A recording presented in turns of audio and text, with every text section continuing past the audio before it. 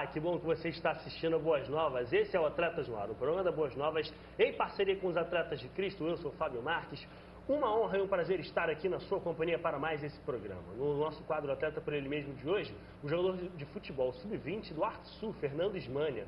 No nosso quadro Atletas em Campo, o projeto Christian Fighters na comunidade cristã Novo Dia. Tem ainda o tetracampeonato do Flamengo no Novo Basquete Brasil. Tem a Liga Mundial de Vôlei Masculino, o UFC em Goiânia e, lógico, o Campeonato Brasileiro. Aqui ao meu lado, como sempre, o comentarista das multidões, Jorge Max Júnior. Estamos aí, Fábio. Sempre um prazer, mais uma terça aqui com vocês. Começo já lembrando que você deve conversar conosco, falar do que você está achando do nosso programa, falar aí dos esportes que você gosta. Escreve pra gente, fala com a gente, atletasnoar.boasnovas.tv. Manda um e-mail pra gente para você poder conversar conosco. Se você também tem, conhece um projeto que evangeliza através do esporte, escreve pra gente, fala o endereço, dá o telefone da galera, dá o contato, que a gente vai lá mostrar também. Entra no site dos atletas também, um site muito bacana, atletasdecristo.org. Lá você tem mais informações sobre a missão dos atletas de Cristo e também, como a gente sempre fala aqui, a loja virtual, onde tem todos esses produtos que você sempre vê aqui conosco. A garrafa, a bolsa para você botar todo o seu material esportivo, tem camisa, tem boné, tem a Bíblia, enfim, tudo aí. Só não tem esse, esse dedo apontador do Fábio lá, mas fora isso tem tudo lá para chegar direto na sua casa diretamente ah. para você num preço bem bacana. É isso aí. Quero te lembrar também lá da página do Facebook do nosso programa, Atletas no Ar, facebook.com.br Atletas no Ar. Lá você tem os nossos vídeos que estão lá no YouTube da Boas Novas, Boas Novas Oficial, também as nossas fotos, aqui fotos das externas, né, fotos das externas gravações, tudo em primeira mão. Também no site da Boas Novas tem a página lá do Atletas no Ar, boasnovas.tv barra Atletas no Ar. Tem um blog, eu estou sempre escrevendo coisas bacanas com relação ao mundo dos esportes, você pode e deve participar. Quero começar esse programa mandando, ó, um beijo para a filhinha do Bruno que nasceu, nosso Bruno, nosso câmera. Um beijo para você, para sua esposa, para toda a sua família que está aumentando nesse momento. Hoje no nosso quadro Atleta por ele mesmo, vamos conferir o testemunho do jogador de futebol sub-20 do Arte Sul, Fernando Ismânia. Bom, meu nome é Fernando Ismânia, eu sou jogador de futebol, jogo no Arte Sul. Aos 4 anos de idade, é, a minha família me colocou numa escolinha de futebol, no qual o técnico era o Puruca ainda, era uma escolinha que a gente treinava lá desde pequeno, tinha vários garotos né, de várias categorias. E eu comecei lá. Até era, então era só para fazer um esporte. E eu acabei gostando do futebol. O técnico falava para a galera toda da minha família que eu levava um pouco de jeito. E aquilo ali fui gostando e treinava de manhã, de tarde, à noite. É, todo dia eu tava, tava jogando futebol. E até então, né, depois eu fiquei um pouco mais velho e mais ou menos aos 11 anos a gente foi para um campeonato que a gente disputou. Não me lembro agora o nome do campeonato, eu sei que tinha vários olheiros de vários times grandes lá e eu fui com uma categoria que era mais velha do que a que eu estava. Só que por eu, graças a Deus, eu estava tendo esse privilégio de estar tá, tá podendo jogar com os mais velhos porque eu tava meu futebol estava fluindo com a minha categoria. Aí eu tive o, o, privilégio de subir de categoria e eu comecei a jogar com eles. E nesse campeonato um olheiro do São Paulo gostou de mim e, e me chamou para ir fazer teste no São Paulo. E foi meu primeiro clube. Aí lá eu fiquei aproximadamente dois anos aprendi muitas coisas né? Saí de casa novo com de 12 para 13 anos de idade.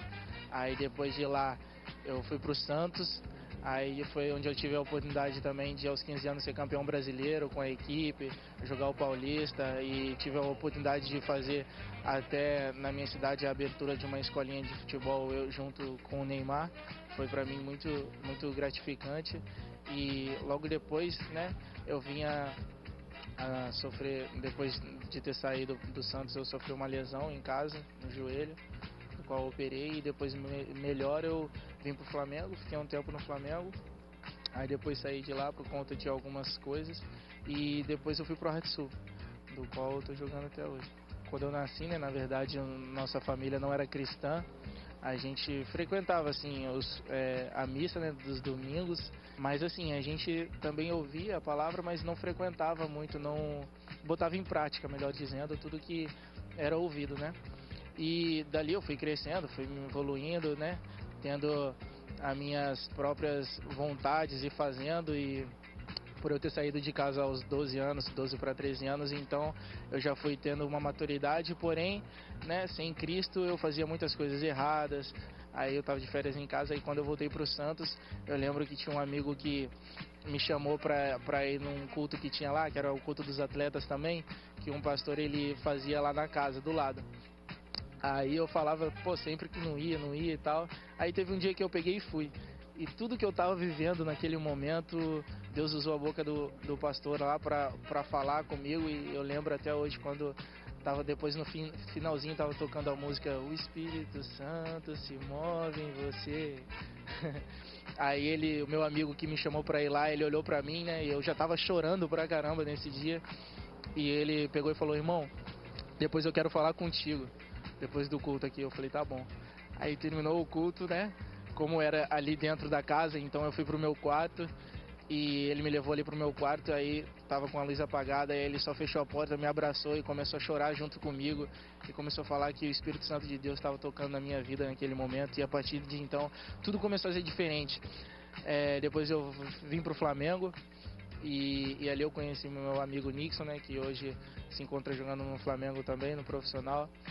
Ali ele também faz parte do Ministério Oficina da Vida, do qual hoje, graças a Deus, eu faço parte. E ele me chamou, falou, pô irmão, vamos, vamos ali para a igreja e tal. Eu falei, vamos.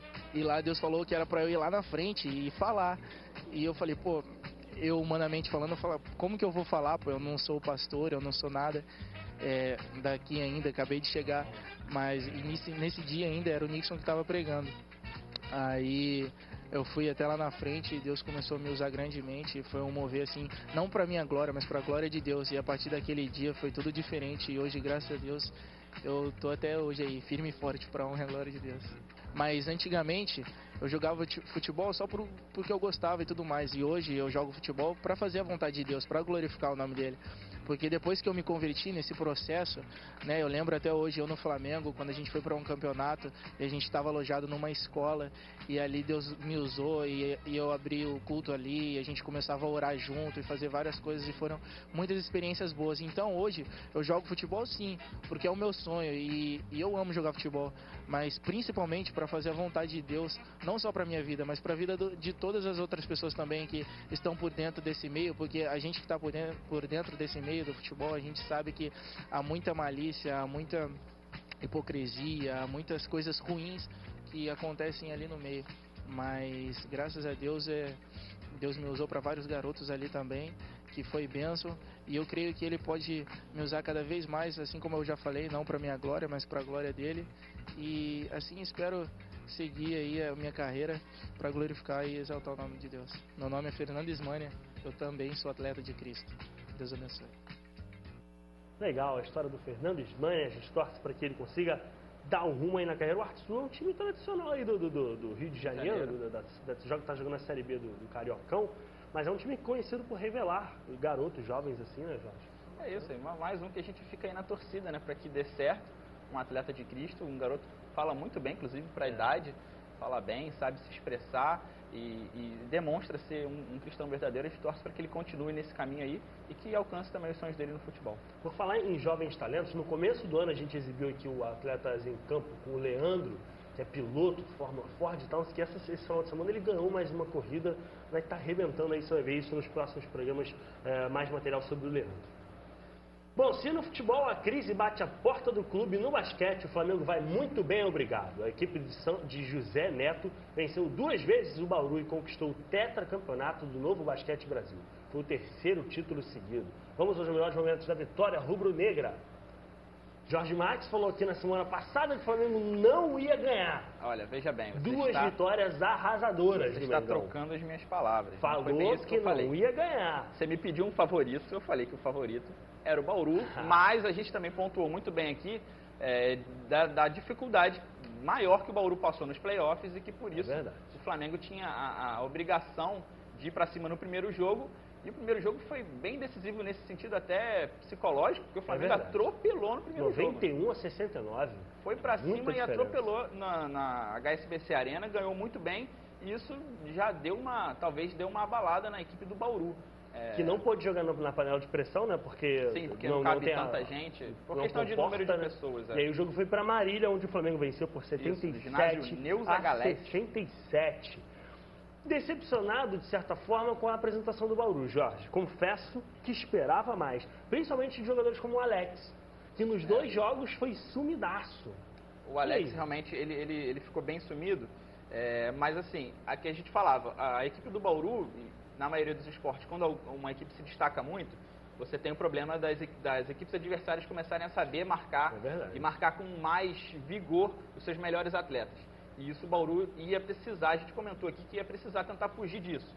É, assim como Franca, como as outras equipes que deram muita dificuldade para o Bauru, o Flamengo, que também tem uma excelente, uma excelente equipe, fez a mesma coisa. O grande a grande questão do Flamengo foi o jogo coletivo e a defesa muito forte. É, inclusive, o Marquinhos deu a entrevista no final do jogo e falou que o ponto forte do time, o ponto crucial para ser campeão foi a defesa. Certamente, Concorda? nesses dois jogos, sim, porque o, é, a, todas as equipes que jogaram com o Bauru viram que a média do, do Bauru era de 90 pontos.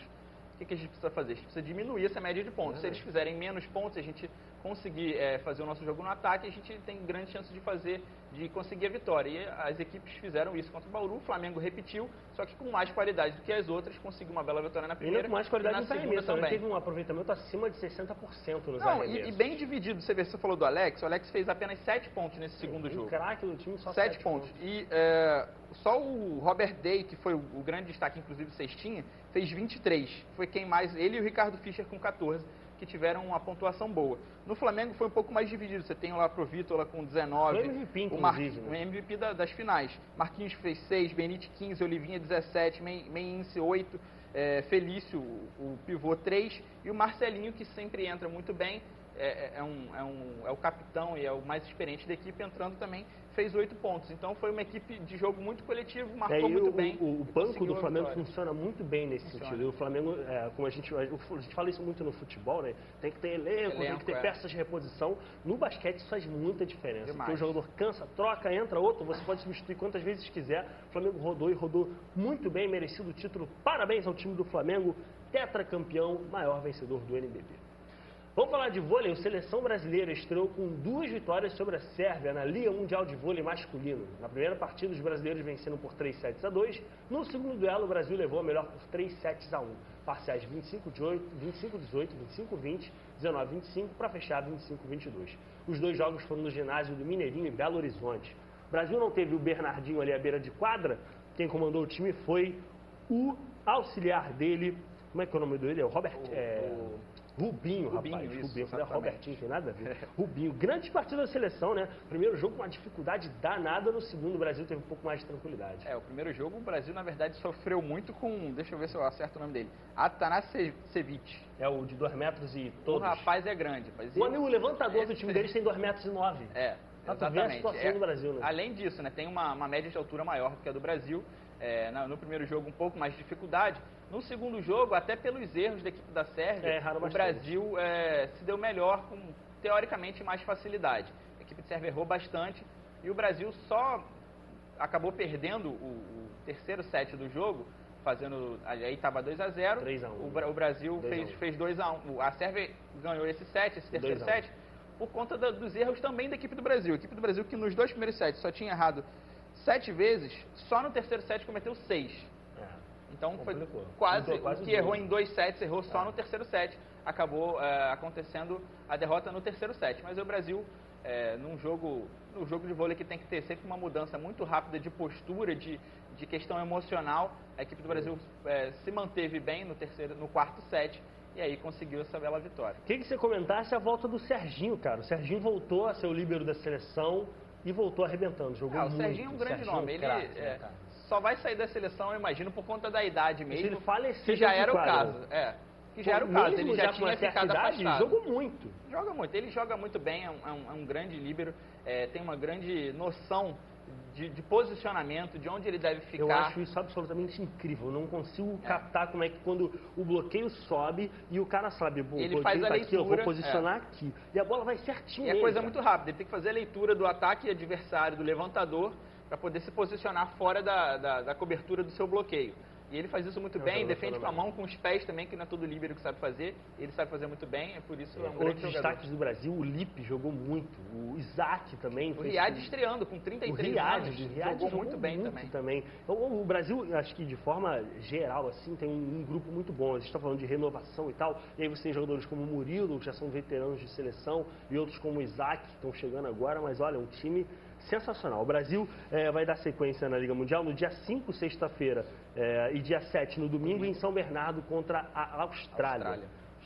A Austrália que está em último no grupo, né? Perdeu os Perdeu dois os jogos jogos. para a Itália, se eu não me engano. Tem aí o Brasil grande chance também de de mais sacudir a. Austrália.